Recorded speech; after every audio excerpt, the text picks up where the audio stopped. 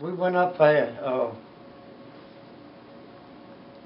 one year, I think Don and Carol and RJ and Jeanette and Freddie got us a room there at a hotel. And we went in there, opened the door and went in there. Oh, RJ opened the door for me. He looked, and he come back out and he closed it. He said, I don't think you ought to go in there. He said, they hadn't cleaned that room up since people was in you know.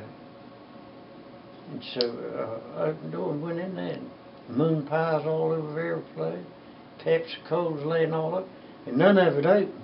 Yeah. And so the woman said, I can get somebody to clean this up right now.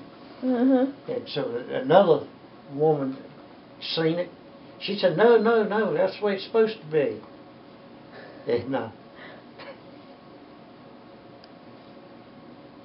she said that somebody come in and wanted to decorate it like that.